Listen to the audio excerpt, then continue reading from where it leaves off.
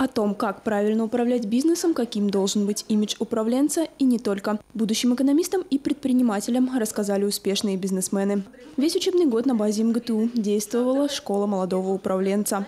У нас в эту школу ходили совершенно разные дети. У нас были преподаватели, у нас были будущие абитуриенты, это школьники и лицеисты. У нас были наши студенты.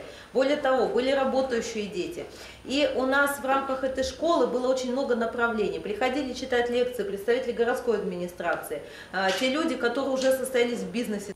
В проекте участвовали иностранные студенты, обучающиеся в МГТУ по обмену. Для них читали лекции на английском языке. Поддержать зарубежных товарищей и попрактиковаться в английском решили студенты нашего вуза.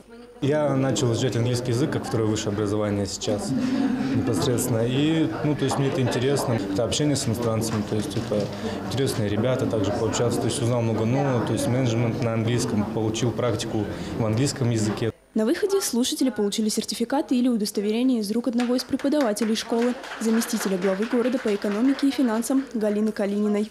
Тот документ, который действительно подтверждает то, что вы можете, у вас есть потенциал, вы будете являться фундаментом. Вы даже сейчас просто не предполагаете, что ваша инициатива вот родилась, вот вроде бы вы поиграли, но это настолько затянет вас э, в жизнь, и ваши знания пригодятся, потому что вас заметят.